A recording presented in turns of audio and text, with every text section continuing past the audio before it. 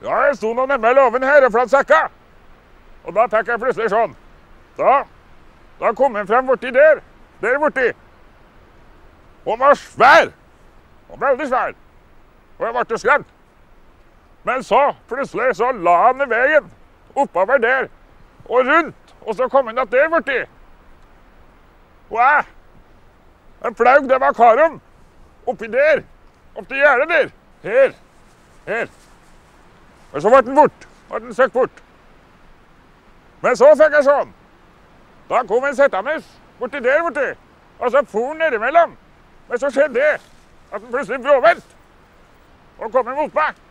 Så jeg flaug det vakarum langt borti her. Der borti. Her.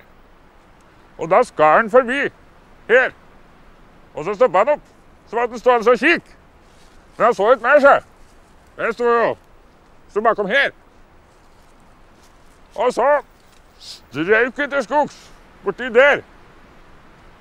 Og så ble den borte.